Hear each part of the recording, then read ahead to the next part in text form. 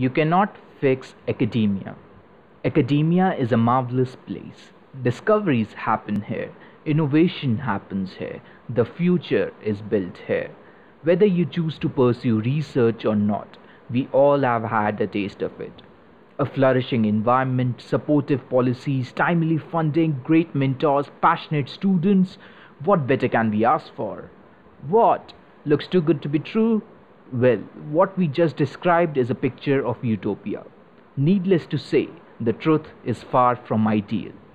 We all know what all needs to be done, and we all have some or the other way to resolve the issues. But that's exactly why you won't be able to fix it. Listing out the problems or describing some solutions won't do a thing. That's right, it won't, it never has. You see, when we talk about something, we don't discuss it for the reason to do it. We just wish that thing is done by someone else. You don't say you are wealthy when you really are wealthy. You don't say you have to exercise when you already are exercising. You don't say you should raise your voice when you already are raising it. And you don't say this problem should be solved when you are already solving it. Pretty straightforward, right? But this simple English has a deeper meaning. But this simple English has a deeper meaning.